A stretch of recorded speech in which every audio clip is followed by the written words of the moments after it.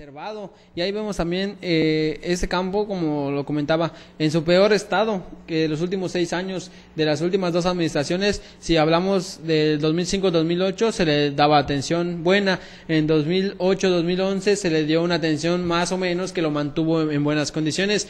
Pero de un año para aquí, créame que ha estado desatendido. Y este campo, usted lo ve, no tiene pasto, el que tiene está eh, muerto, está a punto de desaparecer y no sabemos si, si piensan que es igual que, el mantenimiento de este campo sea igual del bicentenario. Hay que regarlo un poquito, aunque sea, porque esto no es sintético, es natural y necesita las atenciones que, eh, pues por naturaleza, necesita una instalación deportiva y sobre todo porque es la instalación deportiva de la unidad pues más emblemática de Cozumel. La más antigua de Cozumel precisamente y no esperemos que no llegue, se llegue hasta los extremos y este campo se llegue a ver como las recién eh, pasadas imágenes del, del campo de la San Gervasio, donde pues ya prácticamente no hay remedio. Aquí todavía existe remedio, se puede regar. El pretexto es de que no, no, sirven las bombas, como se comentó en el bloque pasado. No existen las bombas de riego, no sirven y pues no hay recurso para comprarlas.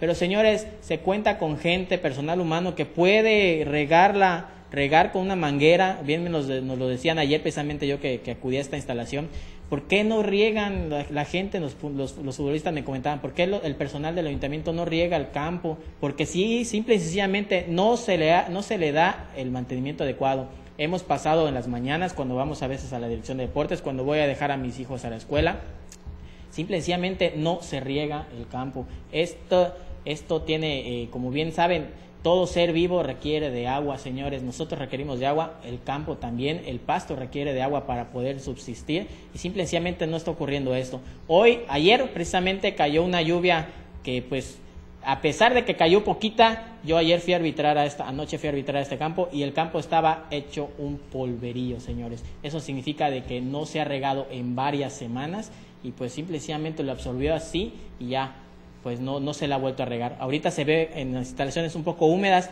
pero pues simple y sencillamente esto lo va a absorber y les aseguro que hoy en la noche el campo va a ser un polvadero. Así es, pues ojalá también que atiendan este campo y no solo este, todas las instalaciones deportivas que necesitan un poco mantenimiento porque eh, Cozumel no puede quedarse sin este tipo de instalaciones o por el contrario, el pretexto para no traer eventos eh, nacionales, estatales, de fútbol, ya no va a ser que Cozumel esté peleado con la asociación, sino va a ser porque no tiene instalaciones adecuadas en donde hacer los partidos. Y bueno, es momento de hacer la última pausa comercial y de regreso tendremos el análisis de lo que es el deporte en la semana que recién está por concluir. Vamos a platicar acerca de lo que viene para ese fin de semana, así que no se despegue de su televisor. Vamos a la pausa, no tardamos y regresamos.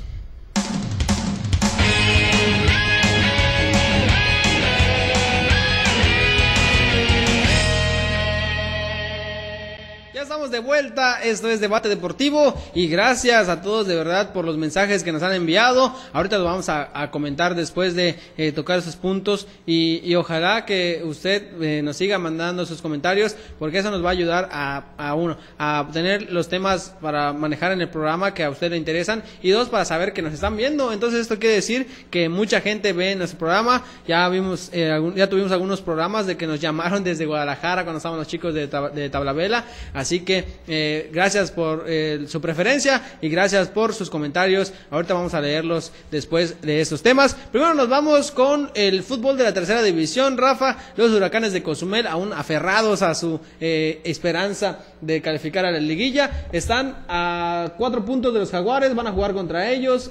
Si ganan, quedaría una diferencia de un punto. Pero lo claro es que su calificación ya no depende de ellos. Así es, simple y sencillamente los huracanes de Cozumel eh, pues esto simple, esa es una muestra de la pues mediocre, por así decirlo, temporada que hicieron, eh, sobre todo en la primera vuelta en la cual pues eh, quedaron en sexto lugar al cierre de la misma. Esto pues después de varias derrotas, muchos empates y pues simple y sencillamente muestra de que no había un juego definido, un sistema definido con el antiguo entrenador, el profesor Marco Antonio Rincón y esto pues ya se está eh, reflejando al cierre de, de la temporada, donde los huracanes pues simple y sencillamente están a punto de quedarse fuera de la fiesta grande. Así es, Rafa. Eh, eh, el problema principal de los huracanes ha sido que han dejado de escapar muchos puntos en casa. Con decirles que las últimas eh, dos jornadas que jugaron aquí en Cozumel perdieron contra los pioneros de Cancún. Cuando iban ganando les dieron la vuelta y perdieron como locales. Y contra el Inter Playa pues apenas empataron y ganaron el punto extra. Han dejado de escapar cerca de 16 puntos de local, lo cual eh, a estas alturas y de haber ah, habido hacer valer eh, su condición como local, pues 16 puntos más los 24 que tienen ahorita, o más los 20, sí, 24 que tienen ahorita. 40 puntos. Pues ya estarían en, en los primeros lugares y, y los Tigrillos tienen 41 y son líderes, entonces eso hablaría de que eh, no se han hecho bien las cosas, no se ha aprovechado la condición de local y de visitante mucho menos han, podido conseguir los resultados. Eh, definitivamente fue un error haber traído a este profesor Marco Antonio Rincón, que no conocía nada del fútbol aquí de Cozumel. Eh, se tuvo que hablar por tercera ocasión al profesor Daniel Mora para que se hiciera cargo y tratara de rescatar, lo cual está pues a un paso, podríamos decir eh, de rescatarlo a un paso de también hundirse junto con el equipo. Ojalá y que ganen, ojalá y que los de arriba pierdan para que en base a un milagro puedan calificar a la liguilla, aunque no sabemos qué tanto puedan dar pelea en esa instancia. Esto no es culpa ni del profesor Mora ni de los jugadores, eh, cabe hacer mención. Esto es culpa directamente de la directiva, valga la redundancia, eh, de haber hecho, haber tomado esta mala decisión al inicio de temporada el optar por, por, prescindir de los servicios del profesor Daniel Mora, que a pesar de las diferencias que tuvo con la directiva, porque se sabe que tuvo algunas diferencias con la directiva, eh, pues hizo muy buen papel la temporada pasada, calificó al equipo a los 16 avos, de, eh, en 32 avos y fue eliminado en 16 avos por un equipo de Tecamachalco que es una potencia, de incluso terminó siendo el campeón de la, de la tercera división. Y pues esto da muestra de que se estaba trabajando bien con el profesor, conocía a los jugadores, eh, y ya se tenía un sistema de juego el cual siempre que un equipo venía a jugar a la unidad deportiva Bicentenario era para tirarse atrás. ¿Por qué? Porque los huracanes arrasaban con todos los rivales que tenían, que les tocaba enfrentarse en casa. Hay golizas a Dragones de Tabasco. Eh, me acuerdo que eh, el único partido que no perdieron fue eh, en casa, porque prácticamente todos los ganaron la temporada pasada, fue contra los ejidatarios de Bonfil, el cual empataron y perdieron el punto extra eh, en penales. Ese fue el único partido que, digamos, dejaron ir puntos en casa.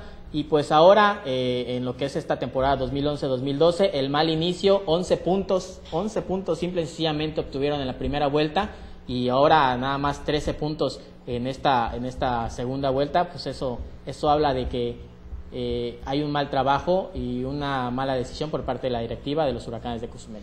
Así es, y bueno, eh, vuelve a estar ahí el comentario de que eh, los jugadores que llegan como refuerzos muchas veces no, no, no dan ahí el, el, el, extra que se necesita, ¿no? Para que destaquen por encima de los locales. Que otra vez hay que mencionarlo, Eduardo Aguirre, y desde que regresó en la, para la segunda vuelta de León, pues eh, fue el que estuvo sacando la casta, como dice Rafa, para ese equipo Huracanes de Cozumel. Van a jugar ese sábado allá en Chiapas ante los Jaguares de la 48, buscando el triunfo que les acerque a su boleto a la liguilla ¿Algo más que comentar en sobre los huracanes, Rafa? Pues simple y sencillamente que nos vemos la próxima temporada porque dudo mucho de que obtengan eh, la victoria ahí en, en, Chiapas. Sabemos que Jaguares son los actuales líderes y, y pues simple y sencillamente las estadísticas, eh, sabemos que de la hora del juego las estadísticas no cuentan, pero las estadísticas simple y sencillamente no pintan a favor de los huracanes de Cozumel. Así que a mi parecer nos vemos la próxima temporada. Así es, ojalá, ojalá y que no sea así. Yo eh, no soy tan pesimista como Rafa, pero...